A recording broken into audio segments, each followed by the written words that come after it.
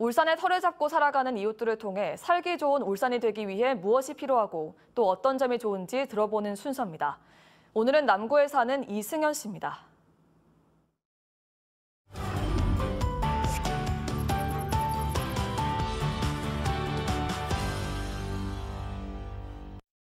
안녕하세요. 저는 SK에너지 울산 컴플렉스 공정기술팀에서 근무하고 있는 이승연이라고 합니다.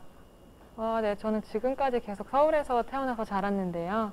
이제 취직을 하게 되면서 울산으로 오게 됐고 지금 울산에 온지한 3년 정도 됐습니다.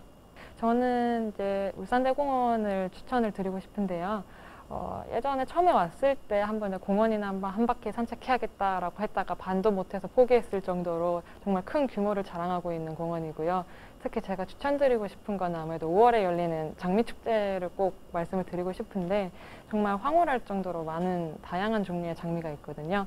내년에는 꼭 코로나 끝나면 장미축제에서 더 많은 분들을 뵐 수 있었으면 좋겠습니다. 제가 그동안 울산에 있으면서 이제 친구들을 몇 번 초대를 한 적이 있었는데 오기 전에는 울산에 와본 적도 없고 울산에 대해서 들은 것도 별로 없었던 상태에서 저랑 같이 놀고 나서 돌아갈 때는 진짜 정말 여기가 괜찮은 도시였다 정말 볼 것도 많고 재밌는 곳이었다라고 감탄하면서 올라가는 경우가 많았거든요. 그만큼 더 많은 분들도 울산에 오셔서 울산의 매력을 느끼고 가셨으면 좋겠습니다. 나는 울산 시민입니다